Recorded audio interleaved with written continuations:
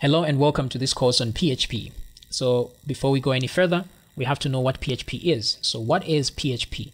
PHP stands for PHP Hypertext Preprocessor. So as you can see here, the PHP is still in the definition as well. So this is called a recursive acronym where you still use the full PHP in there.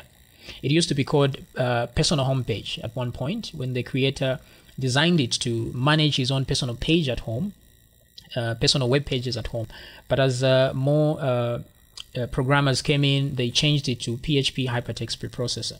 So it's a server-side scripting language, mean, meaning it runs on a server and not on the client's browser, like HTML uh, does or JavaScript. JavaScript and HTML run on the browser, but this one runs on the server, and by the time information gets to the browser, PHP is no longer there or active. So it's a script and not a program. So the differences between a script and a program are that a script responds to events only. So let's say a user clicks a button, uh, this PHP will respond and run. And then it performs the instructions from top to bottom. It will start from the top of the page, run the instructions up to the bottom. By the time it gets to the bottom, that's the end. So it leaves very little room for user interaction because the script just continues running up to the bottom.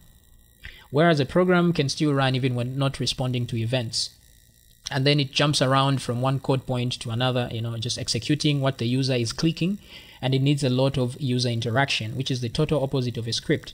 So like this software right here the paint is a uh, an example of a program because even when i'm not interacting with it it's still on.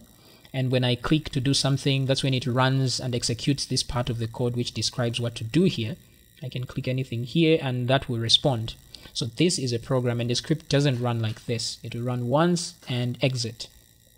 So it's not compiled either. Programs like this, uh, Windows programs are compiled, which means uh, after you type your code, it's interpreted into uh, machine language so that it can run as machine code. But what happens with PHP is that the interpretation happens in real time right there and then.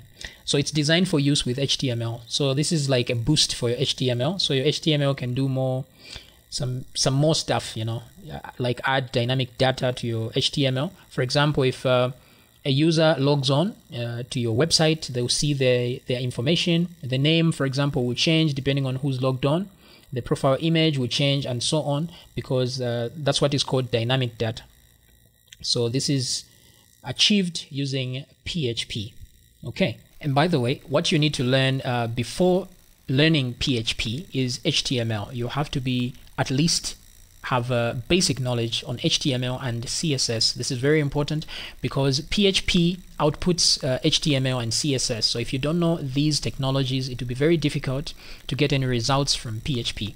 So you don't have to be an expert in HTML or uh, CSS. You just need to know enough to create a basic page. Then uh, you can jump on to learning PHP. So if you don't know any HTML and CSS, please check out the HTML and uh, CSS videos before you can attempt to learn PHP. HTML and CSS don't take long to learn. You can learn these in a single day, so uh, go do that first if you haven't yet. So in the next video, we'll talk about why you should choose PHP. So I'll see you there.